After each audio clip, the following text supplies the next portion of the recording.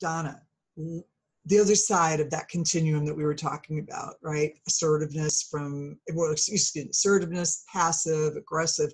What's the impact of a, of a leader who's too passive? Well, what happens is the leader doesn't give performance feedback as often or as specifically as they should. Um, mm-hmm. they don't bring ideas up in meetings.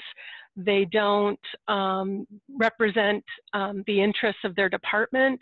And so, um, you know, more pressure is on their people and um, they don't resolve conflict with other departments. And, and so, it, it makes for a really unhappy environment for the staff.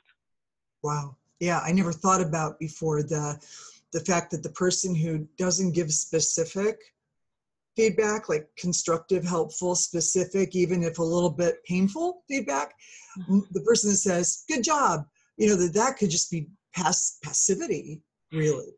Yes. Yeah. Yeah, absolutely. And eh, you know, they because they see giving feedback as as as conflict and they're avoiding conflict. Mm-hmm. Um, but what happens is people get demotivated because they don't know if they're doing a good job or not. They, you know, in some cases, people like this don't do performance appraisals.